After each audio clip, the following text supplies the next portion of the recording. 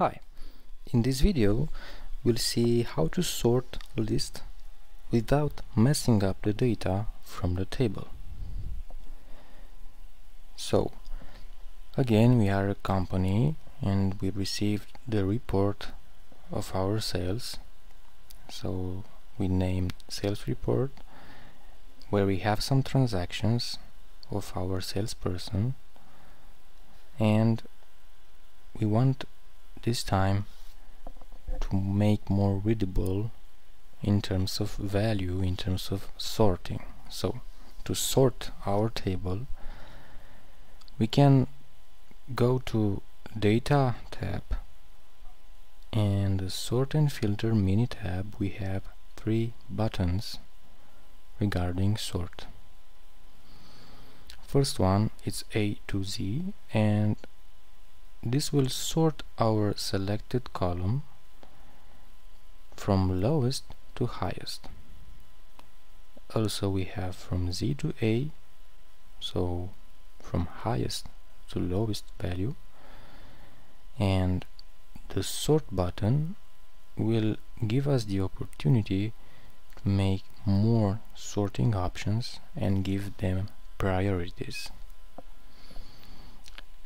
now First of all, we want to decide on which column we want to make the sort.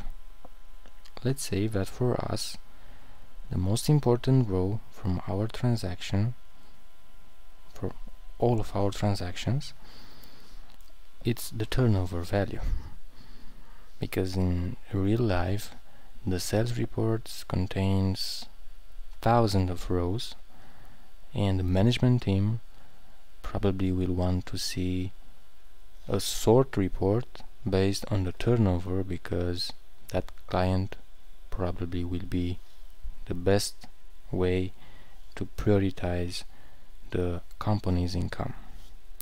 So, with other words, we will click on the turnover column on each cell, so it doesn't matter if I am located here on the second row or I am locating on the ninth row. So I will go to Z to A because I want to have in the first row the biggest turnover from our transactions.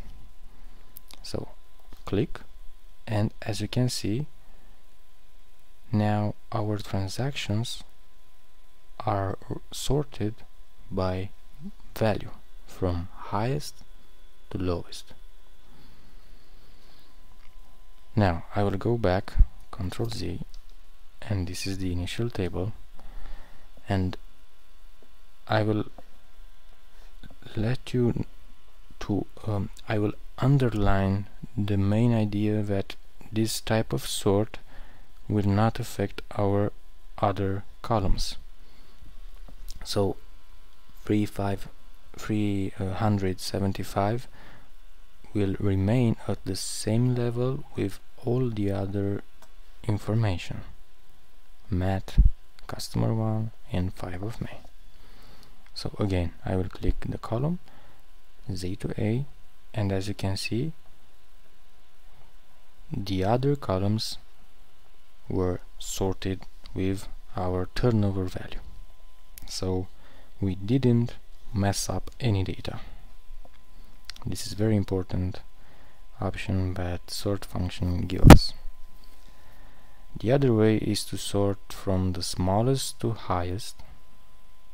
As you can see now we have the small value in the first row and then the third option it's to open the sort menu where we can make many sort many sorts but give them the priority.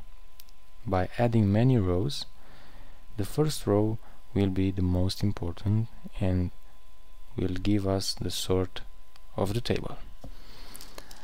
So let's say that we have this first level of sort and we want to sort by turnover cell value but we will come back to largest to smallest click OK. Then I will go back to the menu and I will click add level. And the second level as you can see Excel wrote me that we'll sort first by turnover sort on cell values okay not color or font and then largest to smallest. This is the order but the second level we want to sort them by date also based on the cell values but this time you see that Excel recognize our format and instead of largest to smallest we receive the options oldest to newest or newest to oldest. We want to see the newest to oldest. So recent transactions are a priority a priority for us. We'll click OK. And as you can see we have also based on the value we have the date from newest to oldest. But I will try to edit and make the same value here. So 375 and now if I'll go back to the sort menu you see that we have the newest it's May and it's April of 2020 but this time I will change. So Matt is first Jim is the second but now let's check if we change from oldest to newest Jim should go first. So sort from oldest to newest. Okay and here we go. Jim transactions. It's on the first row. So this is the way you can play with sort menu and you can add as many sort levels you can and then you simply select the level and click delete. Click OK. And another important thing it's that in the sort menu you have the option to check my data has headers. Because in our case we have a we have a headers of our headline where we know that the column uh, receive a name for date invoice product line. But there are some cases when we don't have this type of headline. So we just have directly the values in a column. I will delete this one. So now we don't have any type of headline but I can sort because I will uncheck and I will go to column name. So instead of product date or turnover now I have column so I can sort by column F because F containing contains our turnover value. So from largest to smallest and click OK. Now I will change and I will sort based on column E where we have the quantities. So from largest to smallest so you will see that the sort will change our orders in transactions. For example let's say for sure David will come first because he got 24 quantities in one row. So okay. Oh oops we have Matt with 28 sorry.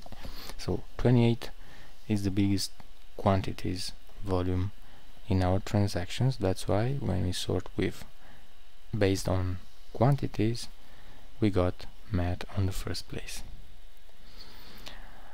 Also you can use the sort menu by home tab. In the top right we have sort and filter. Sort smallest to largest sort largest to smallest. Custom sort which will bring us our menu or just filter